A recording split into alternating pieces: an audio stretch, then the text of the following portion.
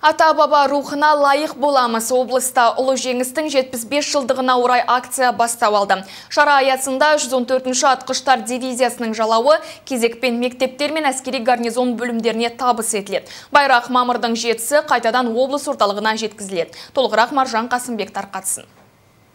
314-ші атқыштар дивизиясы 1941 жылы Петропавлда құрылған ең ірі әскери бөлім болған. Оның құрамдағы сарбаздардың 70 пайызы, яғни 10 мыңнан астамы солтүстік қазақстандықтар. Жауынгерлер алғашында солтүстік батыс майданына аттанады. Ол жақта ірі шайқастарға қатысып ерлікпен күрес жүргізген. Дивизияның күшімен 20-дан аса қала мен 100-ге жуық елді мекен басқыншылардан азат етіліпті.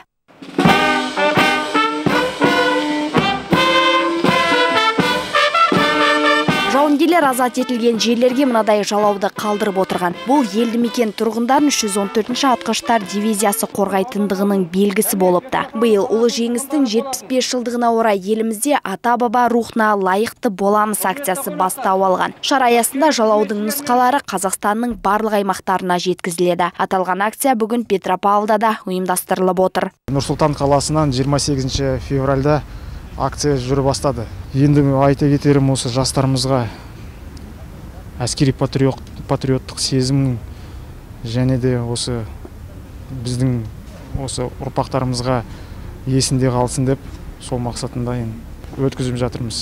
114-ші атқыштар дивизиясының жалауы облыстық тарихи өлкетану музейіне қойылды. Өйткені қан майданда қасы қаны қалғанша шайқасқан солтүстік қазақстандық жауынгерлердің жәдігерлері дәл осы жерде сақталған. Мына бір стендтерге сарбаздардың суреттері ілініпті. Сондай ақ олардың қолданған жеке заттар да бар. Наш областной историко-краеведческий музей был музейге жауынгерлердің жеке заттары мен фотосуреттерін туыстары мен жақындары табыс еткен біз экскурсияға келген оқушыларға батырлар мен олардың ерліктері жайлы баяндап отырамыз Жалау облыстық тарихи өлкетану музейінде наурыздың 16-сына дейін сақталатын болады. Кейін өңірдегі мектептер мен әскери гарнизон бөлімдеріне табыс етіледі. Байрақ мамырдың жетісі күні қайтадан облыс орталығына жеткізіледі. Маржан Қасымбек, Рустам Тілеужанов, муниципалдық телеарна.